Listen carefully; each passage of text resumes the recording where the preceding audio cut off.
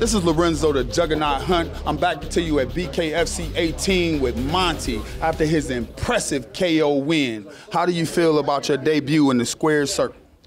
I feel great, man. Um, I anticipated this. It was something I envisioned in my head a million times. I came here to execute, and I did what I had planned. Did you see it going this way? What what happened in there? Were, were you comfortable? Were you at home? Did you did he did the guy have anything for you? I was absolutely comfortable, man. I truly believe that I was born to be a star, and this is my statement. This is the first fight of many that is going to end this way.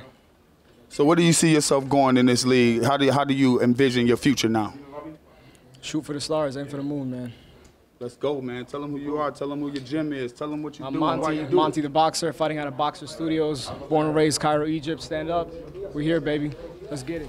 And you know who I am. I'm Lorenzo the Juggernaut Hunt, and we in here watching them boxer boys put on a clinic.